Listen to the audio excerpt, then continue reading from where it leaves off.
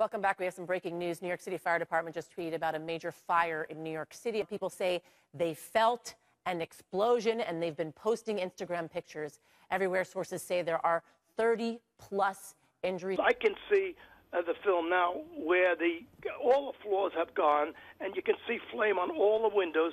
That means the entire inside of that uh, building is gone and it's only the front and rear walls. That picture is actually from uh, uh, George from Instagram uh, that you're seeing uh, right there, that, that video of the flames just shooting out. You can tell it's like a loop that was uploaded onto Instagram. George, are you outside the building? What are you seeing? I'm literally, so it's kind of loud. There's a helicopter right above me. I switched to my friend's rooftop in the East Village.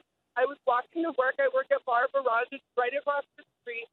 When I went down to uh, 7th Street between 1st and 2nd, I bumped into a friend and I was like, what's going on? There were so many sirens.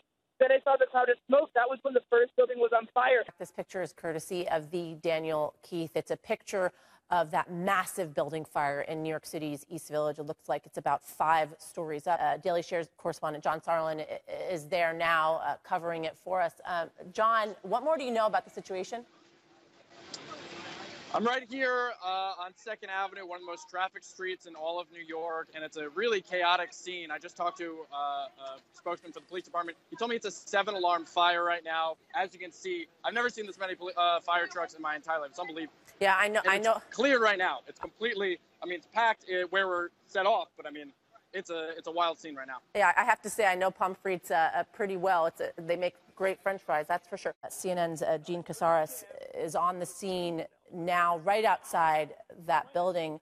Uh, Jean, let's start first with uh, the injuries. Uh, what's the updated number on, on how many people have been rescued and injured at the scene?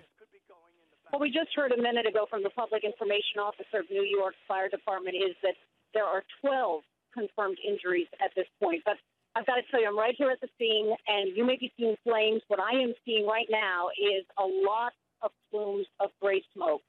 There are three hook and ladders that are up with firemen in them like cherry pickers, and they are spraying water on the building and they are spraying it in a downward direction as though it has collapsed. It just seems incredible. I mean, this entire, it seems as if the building just collapsed inwards from this picture, just leaving an entire hole in between two other buildings. Jean Casarez, I'm going to let you get to that press conference that you have to get to in just a couple of minutes, but I appreciate you calling in, and please bring us any new information that you have from the scene. Keep it here, HLN. Plenty more coming up.